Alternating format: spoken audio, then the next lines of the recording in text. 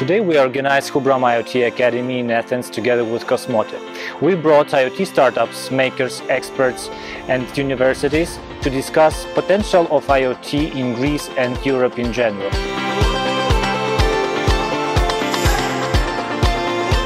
Cosmote has already developed a powerful 4G mobile broadband network where narrowband IoT technology can run on top of it, providing a wide range of opportunities and offering sophisticated services. Narrowband IoT has come here to stay.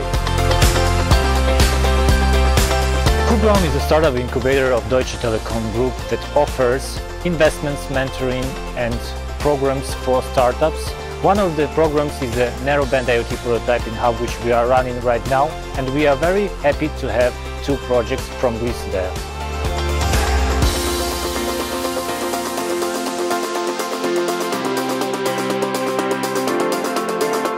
We participate in the NB-IoT prototyping program uh, by hub:raum. IoT technology is very important for us because it helps us gather energy data in order to monetize energy-related business decisions, which is what we do as a company.